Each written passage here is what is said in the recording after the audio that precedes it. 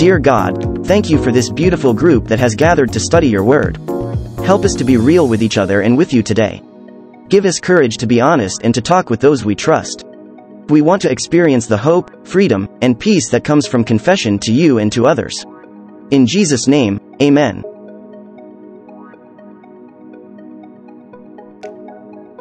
When it comes to the topic of sex for pleasure, it's a subject that often raises eyebrows and can even be considered taboo in some circles.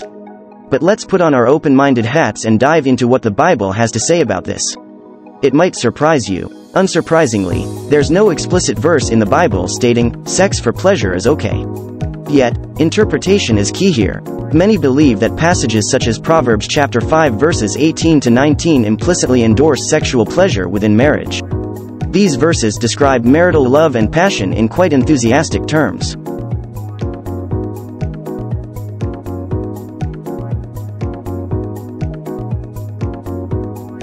However, it should be noted that not all interpretations agree, with some suggesting these verses may refer more broadly to relational joy rather than specifically sexual enjoyment. Therein lies one of the challenges when interpreting ancient texts, they're often steeped in metaphor and symbolism which can lead to varied understandings. Remember though, while we'll delve into various viewpoints here, ultimately what matters most is how each individual interprets these passages for themselves. So buckle up folks, we're about to embark on an intriguing exploration of biblical perspectives on sex for pleasure.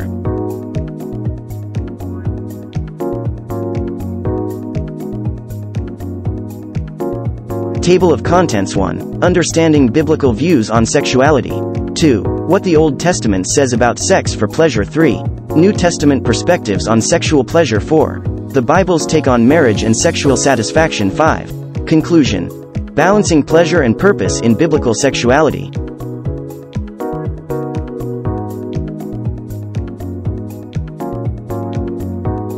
Diving headfirst into the topic, it's clear the Bible has a lot to say about sexuality.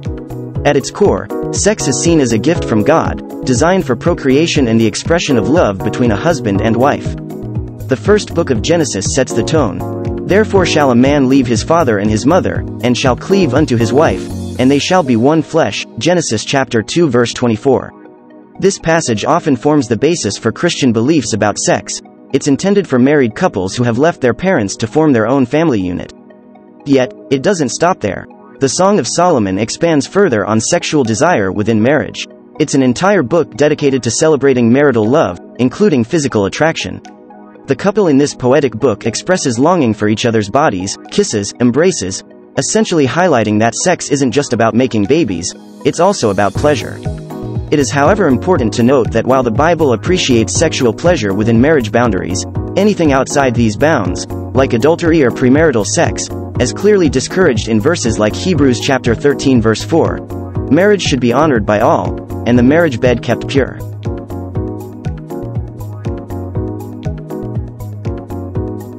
But let's not forget Paul's words in Corinthians 2, he urged couples not to abstain from sex but rather use it as a way to protect against temptation. 1 Corinthians chapter 7 verse 5. So yes, from Paul's perspective in particular, mutual pleasure was part of God's design for sex. To sum up this section, 1. Sexual relations are seen as gifts meant primarily for married couples. 2. Pleasure is an integral part of these relations according to Song of Solomon. 3. However, activities such as adultery or premarital intimacy go against biblical teachings. 4. Mutual pleasure helps guard against temptation per Paul's guidance in Corinthians. Remember, these interpretations may vary among different Christian traditions, but they serve as a general overview of what the Bible says about sex for pleasure.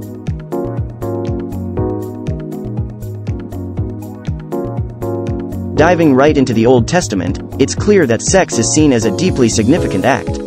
It's not just about procreation but also about unity and intimacy between partners. Genesis chapter 2 verse 24 lays this out pretty clearly when it states, Therefore a man shall leave his father and his mother and hold fast to his wife, and they shall become one flesh. The concept of one flesh goes beyond just physical union. It implies emotional bonding, mutual pleasure, and shared joy. Let's take a glance at Song of Solomon, which paints an entire picture dedicated to sexual love in marriage with verses like, How beautiful you are my darling. Oh, how beautiful. Your eyes behind your veil are doves, Song of Solomon chapter 4 verse 1. it becomes evident that the Bible does indeed acknowledge the role of passion and pleasure within marital bounds.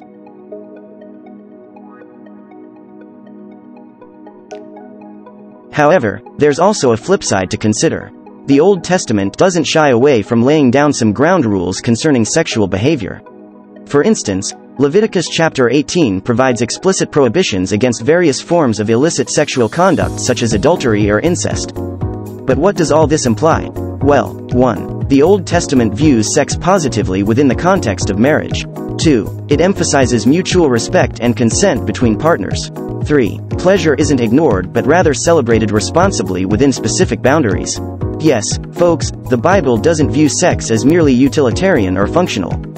Instead, it champions a balanced perspective where procreation exists harmoniously with pleasure under the umbrella of love-filled commitment in marriage.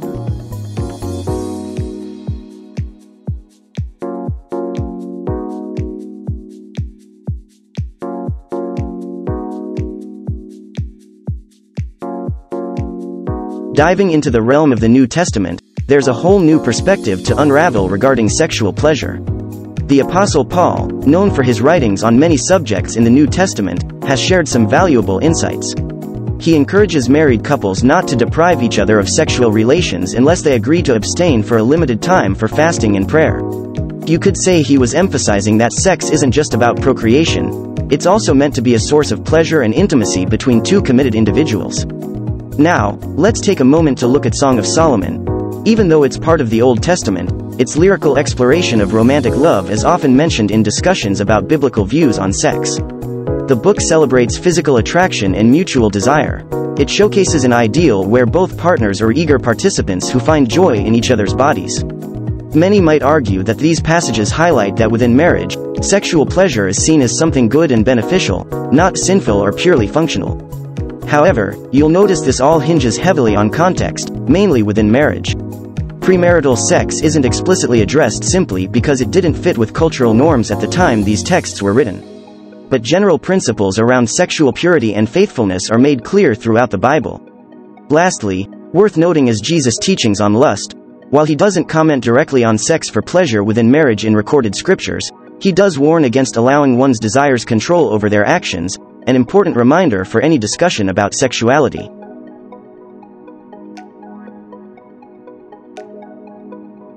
Let's dive right in. It's clear that the Bible places a high emphasis on marriage. Genesis chapter 2 verse 24, for instance, underscores the importance of marital union, saying, Therefore a man shall leave his father and his mother and hold fast to his wife, and they shall become one flesh. But what does it say about sexual satisfaction within this sacred bond? While you won't find explicit references to sex for pleasure in its pages, there are certain verses that suggest God designed the act not just for procreation, but also as a source of joy and intimacy between spouses. Proverbs chapter 5 verses 18 to 19 is one such example where Solomon encourages men to rejoice with their wives and be captivated by their love. Similarly, Song of Solomon is filled with sensual imagery that celebrates physical love within marriage. Its poetic language paints a picture of mutual desire between two lovers, suggesting that sex isn't merely functional but an expression of deep affection. Yet it doesn't stop there.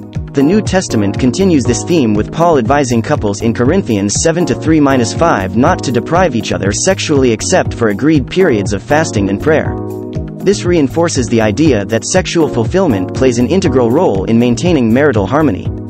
However, keep in mind these interpretations could vary across different Christian denominations due to cultural differences or personal beliefs about sexuality within marriage. It's always best to seek counsel from trusted spiritual leaders if you have questions or concerns regarding this topic. Remember though, while the Bible seems supportive of sexual pleasure within marriage boundaries, it equally emphasizes love, respect and commitment as foundational aspects which shouldn't be overlooked.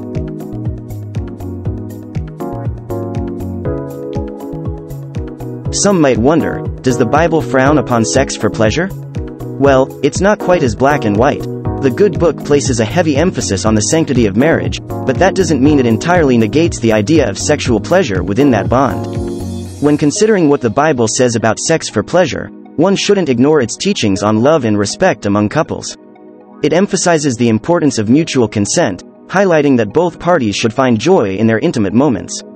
Indeed, Song of Solomon is filled with verses celebrating erotic love between spouses.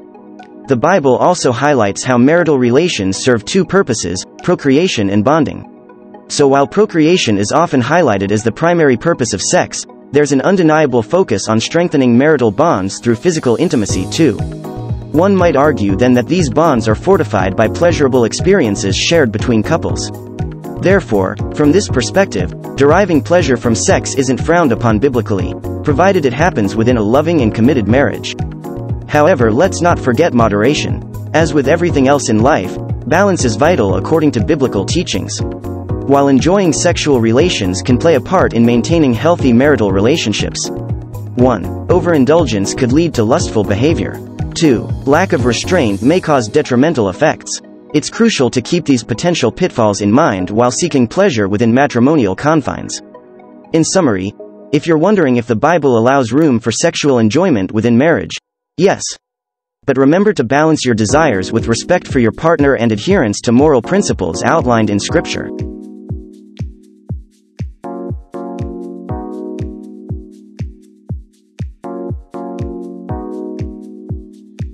Heavenly Father, grant us the courage to be brave and courageous as Jesus was when we walked this earth, yet kind and compassionate at the same time.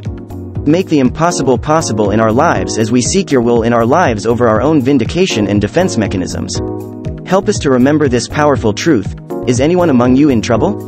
Let them pray. James chapter 5 verse 13. Deliver us, Father, from the everyday attacks on our conscious, health, relationships, and beyond from what can see coming and would never expect, protect and deliver us from anything that threatens to throw us off your course for our lives. Give us strength to love people that are seemingly unlovable without compromising our character as Christians. Build a confidence in us that is unstoppable and immovable but guard our hearts from pride. Deliver us from our distorted thoughts, sickness, debt, sadness, struggles, hunger, pain, fear, oppression, conflict, and unbelief, for we proclaim your peace over our lives through prayer, today. Be strong in the Lord and in his mighty power. Ephesians chapter 6 verse 10 Help us to put on your armor, daily, Father. In Jesus' name, Amen.